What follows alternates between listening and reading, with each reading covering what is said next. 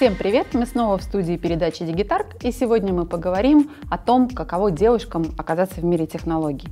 У меня в гостях Амина и Луиза. Здравствуйте! Здравствуйте! Девушки Амина, Луиза, вы учитесь в одной школе? Да. Что это за школа, Амина? Э, Мы учимся в частной гимназии Сакола в девятом классе. Здорово. То есть в прошлом году, когда вы приняли участие в пилотном проекте Tele Tech Girls, такая неделя технологий для девочек, вы были еще в восьмом классе. Как вы себя чувствовали там? Луиза, чувствовала ли ты, что ты слишком юная для этого проекта? Нет, на самом деле я была готова, и уже сразу, когда узнала про этот проект, я поняла, что хочу туда пойти, и мне сразу это показалось очень необычной, интересной идеей, поэтому я сразу сюда пошла и чувствовала себя очень хорошо, так как все девочки, которые были на этом проекте, также были очень дружелюбные, и никогда не возникало каких-то конфликтов.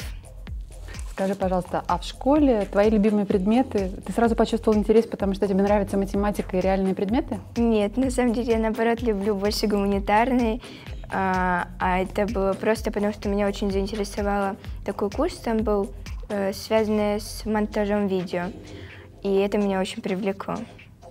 А ты, Амина, чем увлекаешься в школе? Что тебе больше нравится? Э, Мне больше нравятся иностранные языки, потому что зная то, что не буду учиться, ну, буду учиться за границей, вот, и поэтому больше мне нравится э, именно языки учить.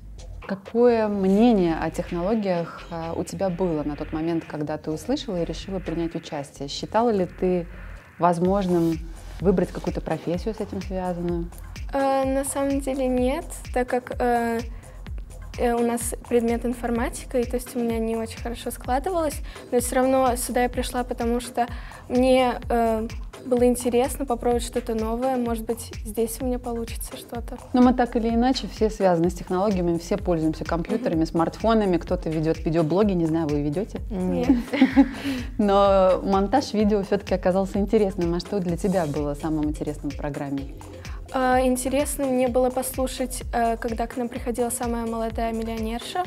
Было интересно послушать, как она добилась этого и как проходит ее жизнь. Вот.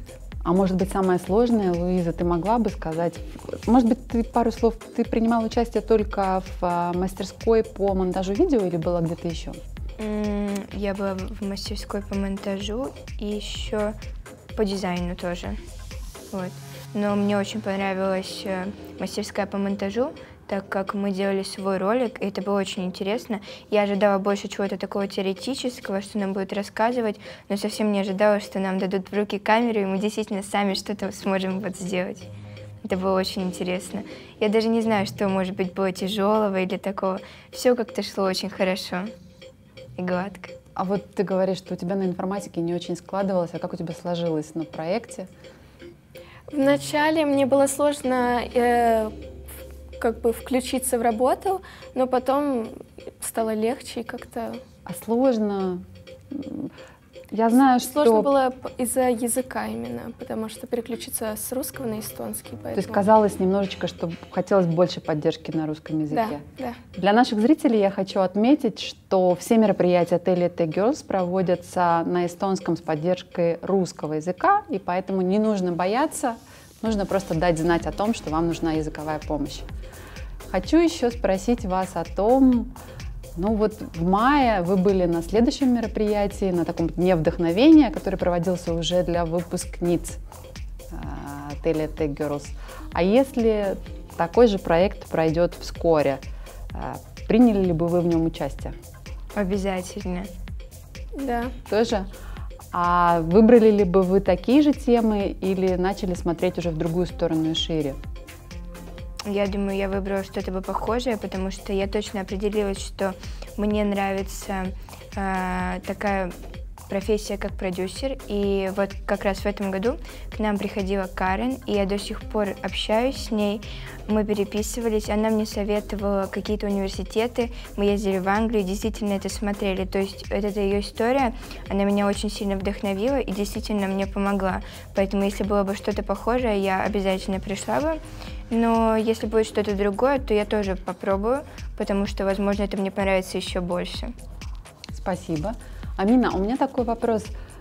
Ты же наверняка имела какое-то представление о том, что такое ИТ, что там, наверное, сидят какие-нибудь такие бородатые программисты, которые едят пиццу, запивают в лучшем случае Кока-Колу и в худшем еще чем-нибудь покрепче. Как-то у тебя изменилось это впечатление? Да, изменилось. Э, ну, сейчас я считаю, что и женщины тоже могут этим заниматься. То есть э, от человека зависит, хочет он этим заниматься или нет, неважно, какой пол.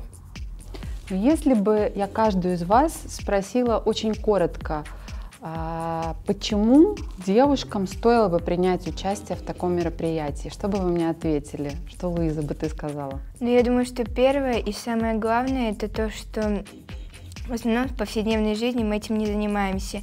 И это то, что мы можем сделать, выступив из зоны комфорта. А это всегда очень важно для человека. Потом обязательно ты заводишь новые знакомства. На этом проекте я познакомилась с несколькими новыми людьми, с которыми до сих пор поддерживаю связь. Ну, я думаю, конечно, это просто новый опыт. Он всегда очень важен. Я соглашусь с Луизой, что это, да, новый опыт. Вы можете попробовать что-то новое, и, и как бы ты не знаешь, понравится тебе это или нет. Ну, не попробуешь, не узнаешь, да. это точно. Спасибо вам большое. А я хочу пригласить всех, всех наших телезрителей следить за информацией на интернет-сайте, посвященном мероприятиям Telia Tech Girls – и обязательно приходите к нам, будет интересно.